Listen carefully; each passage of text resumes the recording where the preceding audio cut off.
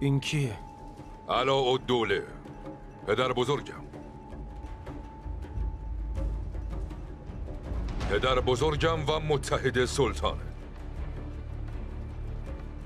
به سرورت بگو که ما از چیزی نمی ترسیم و چیزی رو مخفی نمی کنیم و اگه یه مقدار از شهامت جرأت و ذره‌ای از مردونگی داشت از ترس ما منزوی نمیشه.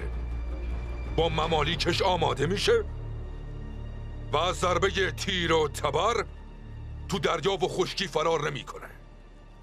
سوار اسبش کنید و اونو به سلطانش برگردونید. و دیدار ما نزدیک خواهد بود. اگه جرأت داری منو بکش. چون وقتی برگردم قطعا تو رو می‌کشم.